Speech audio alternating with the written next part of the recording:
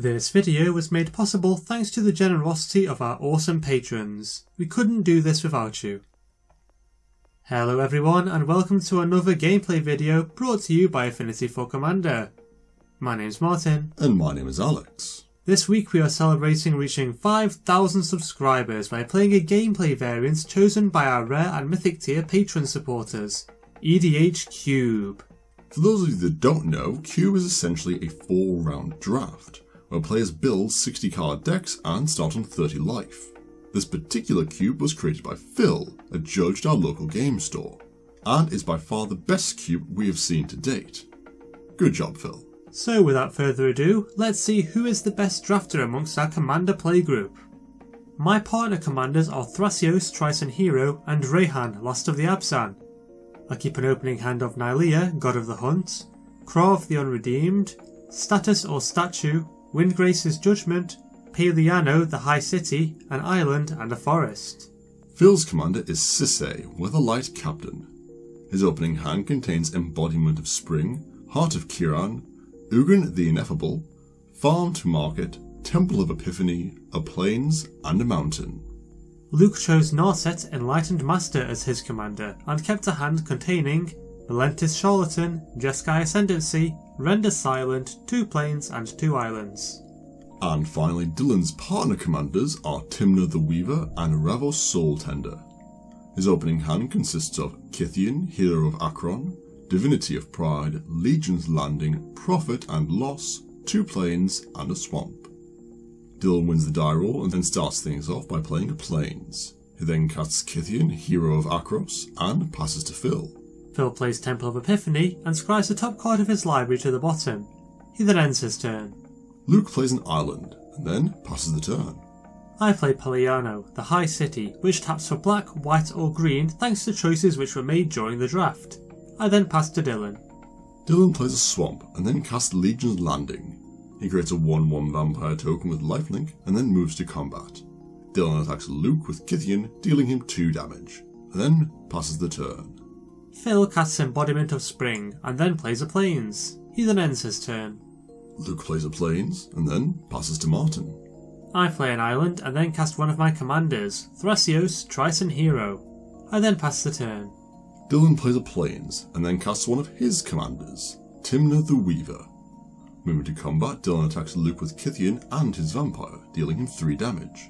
He gains a life thanks to his vampire's lifelink, which he then loses to Tymna's ability in order to draw a card.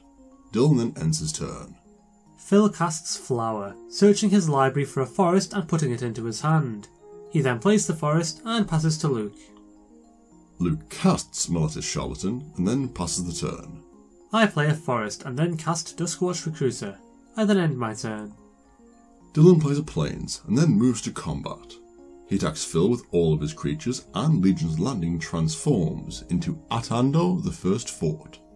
Phil blocks Tymna with his elemental and sacrifices it to his own ability before damage occurs. He puts a swamp into play tapped and takes 3 damage, and Dylan then moves to his post-combat main phase. Dylan loses a life to draw a card with Tymna's ability, cancelling out the life he gained from his vampire, and then transforms Kytheon into Gideon Battle Forged. He uses Gideon's plus 2 ability, forcing Martin's recruiter to attack Gideon in his next turn, and then casts Divinity of Pride. Now that is a scary card to see on turn 4 in Commander. Happy with his turn, Dylan passes to Phil. Phil plays a mountain and then casts Heart of Kiran. He then passes the turn. Luke plays a mountain and then ends his turn. Martin forgets to flip his Duskwatch recruiter, which he kicks himself for later, and moves to his turn. I play a swamp and then cast Statue, destroying Divinity of Pride. Bye bye birdie! Moving to combat, I am forced to attack Gideon with Duskwatch Recruiter, and I also attack him with Thrasios. Gideon takes 3 damage, and I then pass to Dylan.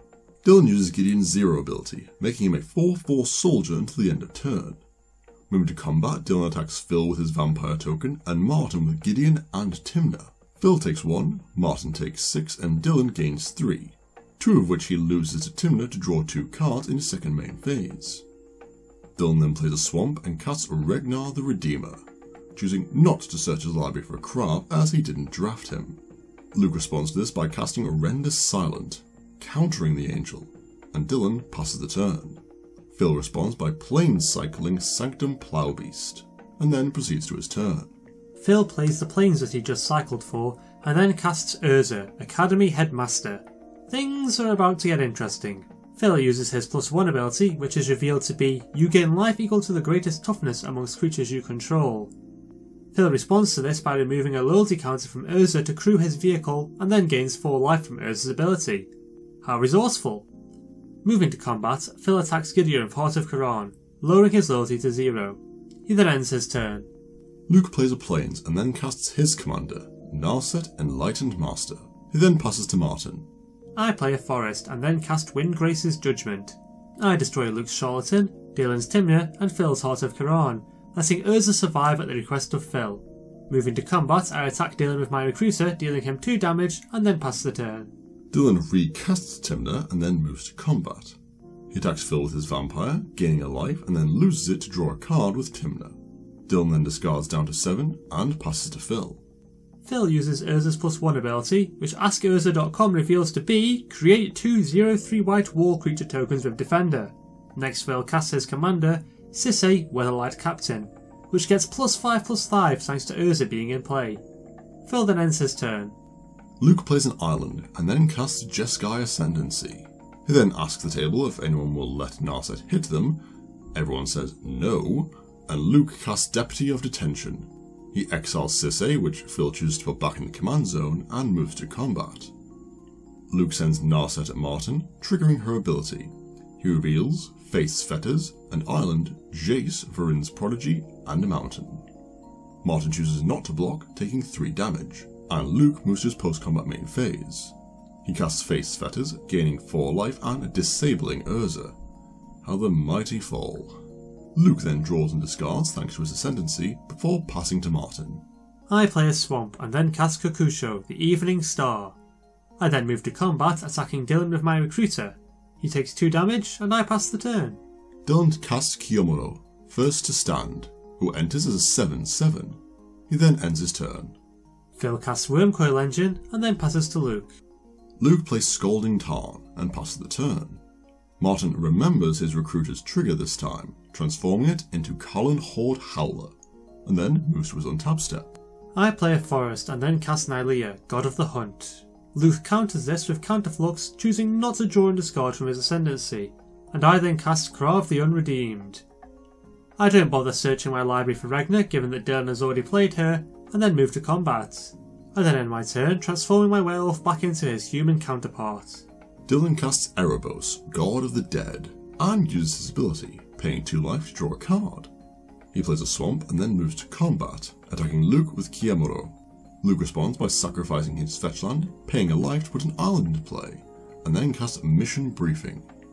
He draws and discards a card from Jeskai Ascendancy, keeps both cards on top of his library, and chooses not to cast a spell with Mission Briefing. Unable to find an answer to Kiyomaro, Luke blocks the spirit with his deputy. Dylan gains 7 life and Sisay is returned to the battlefield. Dylan then passes to Phil. Phil activates Sisay's ability, searching his library for Teferi, hero of Dominaria, and puts him into play.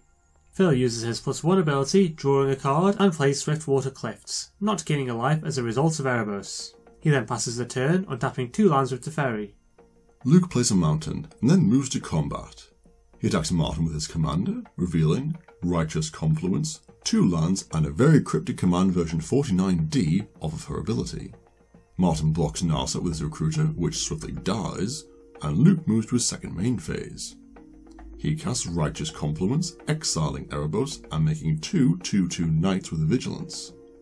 Narset is untapped with Jeskai Ascendancy, Luke chooses not to loot, and then casts Very Cryptic Command. He returns Kiyomaro to Dylan's hand, flips over Martin's Kokusho, and once again decides not to loot with his Ascendancy. Still not finished, Luke casts Crackling Drake, whose power is currently 5. He draws a card from his Drake's ability, and then ends his turn. I cast my other commander, Reyhan Last of the Abzan, followed by Ashiok Nightmare Weaver. I use Ashiok's plus 2 ability, targeting Dylan, exiling a plains, a swamp, and a Rochi hatchery. I then pass to Dylan. Dylan plays a plains and then casts his second commander, Ravos Soulmender. He then passes the turn. Phil plays a Plains and then uses Teferi's plus 1 ability to draw a card. Next he casts Gideon, ally of Zendikar, immediately using his minus 4 ability to give himself an emblem. Phil then ends his turn, untapping two lands thanks to Teferi's ability. Luke moves straight to combat, attacking Dylan with his commander. He rolls the top four cards of his library to be Order or Chaos, Keldon Megaliths, Lux Cannon, and Enigma Drake. Luke considers casting Chaos before blockers are declared, but decides not to. And Dylan blocks Narset with his Vampire. In his post-combat main phase, Luke casts Chaos, drawing and discarding card, and untapping Narset with his Ascendancy. Next, he casts Lux Cannon, drawing and discarding once more, and then passes to Martin. I use Ashiok's plus 2 ability, this time targeting Phil. I exile Restoration Angel and two non-creature cards and then cast Biogenic Ooze, creating a 2-2 Ooze token. Moving to combat, I attack Dylan with Krav and he declares no blockers, spotting that I have mana available to activate his ability. Dylan takes 3 and I move to my end step. I put a plus 1 plus 1 counter on my oozes and then pass the turn. Dylan returns Divinity of Pride to his hand with Ravos' ability and then casts it. Not liking the sound of a 9-9 flying lifelinky bird, Luke casts Mystic Confluence, choosing to counter the spell unless Dylan pays 3 twice, and returning Sisay to Phil's hand. Phil responds this by activating Sisay's ability, putting Kagemaro first to suffer into play from his library. Sisay is then returned to Phil's hand, Divinity of Pride is countered, and Luke draws and discards using Jeskai Ascendancy. Dylan then ends his turn. Phil sacrifices Kagemaro to his own ability, giving all creatures in play minus 8 minus 8. I respond by activating Krav's ability, sacrificing my other 5 creatures.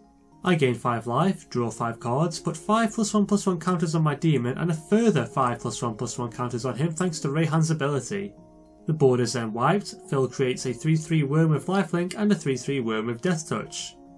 Dylan lets Tymna go to the graveyard, Phil draws a card with Teferi's plus 1 ability, and Luke puts a charge counter on Lux Cannon. Not yet finished, Luke casts Rashmi, Eternity's Crafter, and recasts his commander. He then untaps two land before passing to Luke. Luke casts Clever Impersonator, having him enter as a copy of Urza, because one near omnipotent planeswalker is clearly not enough for one game. Luke uses his minus one ability, gaining an emblem saying, whenever a creature with power 4 or greater enters the battlefield under your control, draw a card. Pity he's playing a Spellslinger deck. Luke then puts a charge counter on his cannon and passes the turn. I play a forest and then cast Verdant Confluence. I return Kokusho, the Evening Star, and Biogenic Ooze to my hand and search my library for an island before putting it into play tapped.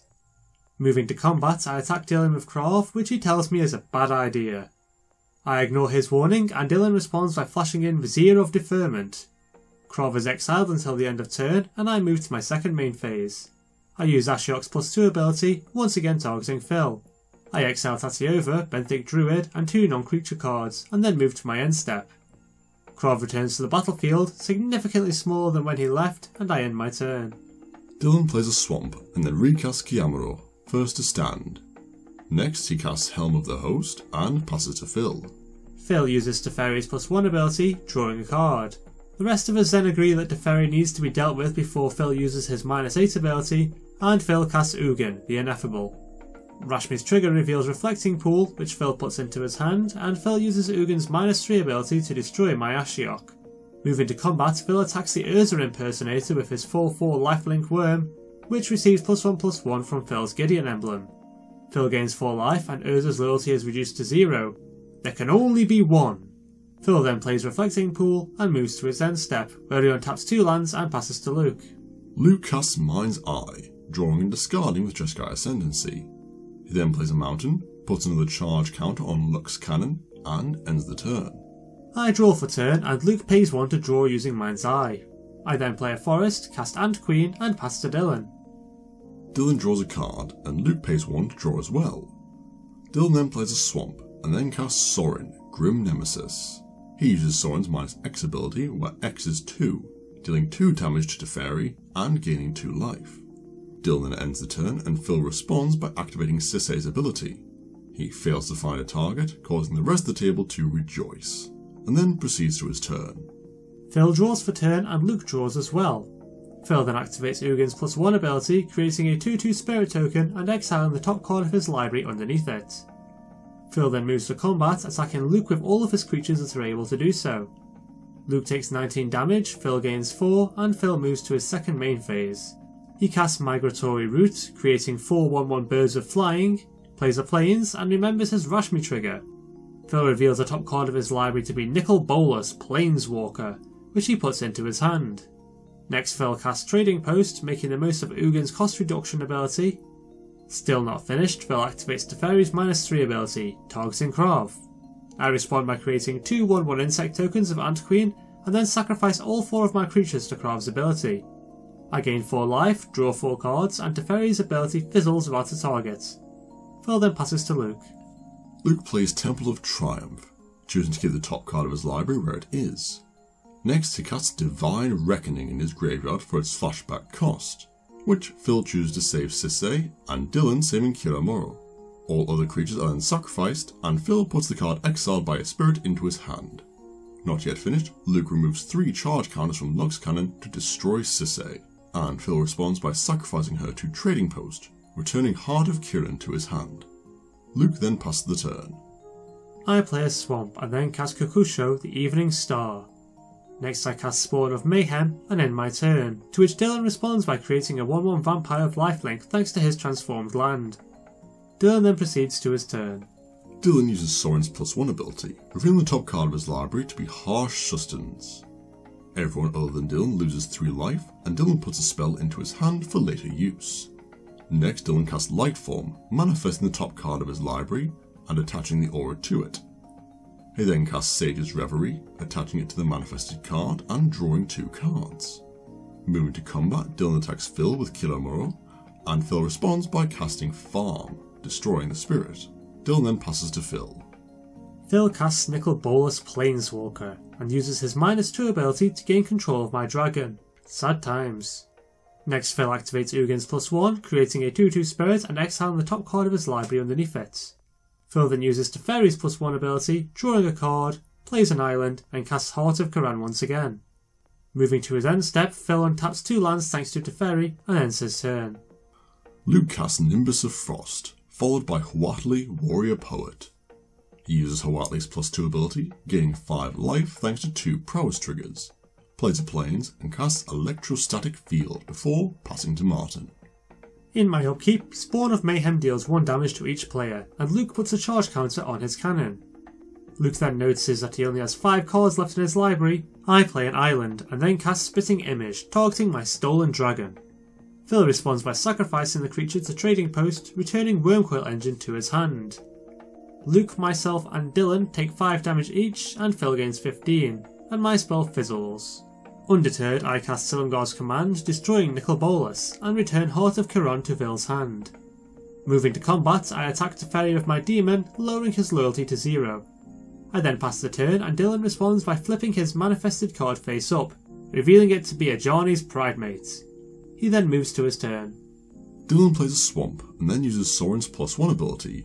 Reveals the plains being on top of his library, which he puts into his hand, and then casts Knights of the Black Rose, becoming the Monarch. Dylan then equips Helm of the Host to his kitty cat and moves to combat. Phil responds to this by casting Return to Dust, destroying the helm, and Dylan proceeds to his combat phase. He attacks Ugin with his Pride Mate, reducing his loyalty to zero and gains 4 life from the cat's lifelink. Dylan then puts a plus 1 plus 1 counter on the cat and ends his turn, drawing a card from the monarchy in his end step. Phil plays a forest and then casts Crime, returning Luke's clever impersonator to the battlefield under his control. Phil has the shapeshifter enter as a copy of Sorin, Grim Nemesis, and immediately uses his minus X ability targeting the original Sorin where X is 6. Both Sorins are sent to the graveyard and Phil gains 6 life before recasting Wurmcoil Engine and Heart of Kiran. He then moves to combat, dealing me 3 damage of his spirit and passes to Luke. Luke casts Melek, it Paragon, the top card of his library to be Mystic Retrieval. Luke then casts the previously mentioned spell, returning a very cryptic command and a Righteous Confluence to his hand thanks to Melek, and revealing the next card in his library to be Torrential Gearhulk. Everybody other than Luke takes 1 damage from Electrostatic Field, and Nimbus of Frost becomes a 5-5 thanks to prowess triggers. Luke then uses Huatli's plus 2 ability, gaining 5 life, and passes the turn. Everyone is dealt a damage in my upkeep and I play Verdant Catacombs. I then draw a card for turn, and Luke plays one to draw as well. He reveals an island as his penultimate card, and I cast Gonti, Lord of Luxury, picking one of the top 4 cards of Phil's library to exile. I immediately cast the exile card, revealing it to be Slave of Bolas, and gain control of Wurmcoil Engine. Phil responds by using the worm to crew his vehicle, and I destroy the newly made creature with Maelstrom Pulse. Moving to combat, I attack Phil with my demon, dealing him 4 damage. Don't ask why I didn't attack with the Wurmcoil engine, because I honestly can't remember. I'm sure I had my reasons though. In my end step, I sacrifice the worm, creating a 3-3 lifelink and a 3-3 death touch, and then end my turn. Dylan plays a swamp and then casts Liliana, Heretical Healer. Moving to combat, Dylan attacks Phil with his Knights and Vampire, dealing him 7 damage and gaining 2 life. He then passes to Phil. Phil plays the Plains and then sacrifices his spirit to Trading Post. He returns Wurmcoil Engine to his hand, as well as the spell exiled by his spirit, and then casts the Blasted Worm. Finally, Phil casts his commander and passes the turn. Luke reveals the last card in his library to be Ride Down, and then moves to combat. He attacks Dylan with his spirit, and Dylan declares no blockers, taking 3 damage. Luke then becomes the Monarch, losing 2 life to Knight of the Black Rose, and Dylan gains 2 life this way. Luke then attempts to go out with a bang, casting Torrential Gear Gearhulk, targeting Mystical Confluence with its ETB. He chooses to return Martin's Gonti, Dylan's Primate, and Phil's Wurmcoil to the owner's hand, and then draws and discards a card with Jeskai Ascendancy. Not yet finished with his last will and testament, Luke casts Very Cryptic Command, and Martin responds by paying a life and sacrificing his fetch land to put a forest into play. Luke then chooses to flip Spawn of Mayhem face down and return Ravos to Dylan's hand.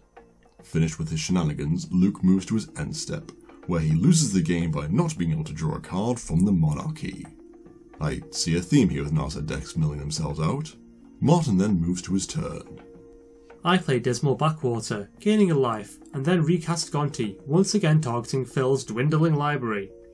I exile a card, recast Biogenic Ooze, and create a 2-2 Ooze, before creating another Ooze with Biogenic Ooze's ability. Ooze. Moving to combat, I attack Dylan with my 3-3 lifelink worm and Phil with my 3-3 death touch worm, neither of which are blocked. Dylan takes 3, Phil takes 3, I gain 3 and then move to my end step.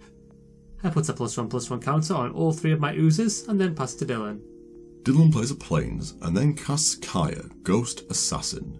He uses her minus 2 ability, drawing a card and forcing Phil and Martin to discard a card, and then casts Anointed Procession, not yet finished, Dylan casts Hero of Bladehold, and then moves to combat.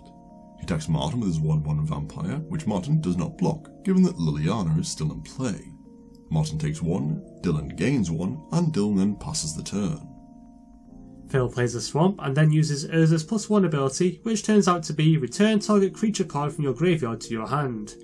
Phil returns Kagemaro first to suffer to his hand, which he then casts and immediately sacrifices. All creatures get minus 5 minus 5, destroying all of them except for Sisay, who survives as a 3-3. Moving to combat, Phil attacks Kay with Sisay, lowering her loyalty to 0, and then moves to a post-combat main phase. He once again casts Wurmcoil Engine, and then ends his turn. Martin casts the card that he stole from Phil's library with Gonti, last one standing. Wurmcoil Engine is randomly chosen to survive the board wipe, leaving Sisay as the spell's only casualty. Noticing that Phil only has three cards left in his library, Martin casts Extract from Darkness. Everybody mills two cards, and Martin puts Gonti, Lord of Luxury, back into play. Once again, targeting Phil with the Aetherborn's ability.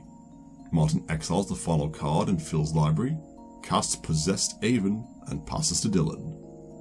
Dylan casts Elspeth Tirel and uses her minus 2 ability to create three 1 1 soldiers, which is turned into 6 by an undead possession. Not yet finished making soldiers, Dylan casts Evangel of Heliod, creating 10 more soldier tokens. He then ends his turn and Phil responds by sacrificing his trading post to draw a card, losing the game. That's two players who've lost to Mill. I then move to my turn. Moving straight to combat, Martin attacks Elspeth with Aven, lowering her loyalty to zero. In his second main phase, he recasts Reyhan and then passes to Dylan. Dylan plays a swamp and then casts the harsh sustenance that he still had in his hand. My life total is reduced to a very low amount, which Dylan quickly makes zero by attacking me with all of his creatures, ending the game. Well, that's it for this game. We hope that you enjoyed it. We'd like to once again thank Phil for bringing his cube to Commander Night at our LGS. We all had such a great time playing it.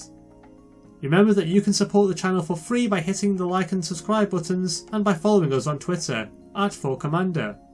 Also, if you want to have a say in what videos are made in future episodes, then be sure to check out our Patreon page for information on how to do just that. Links in the description below. We'll see you next time.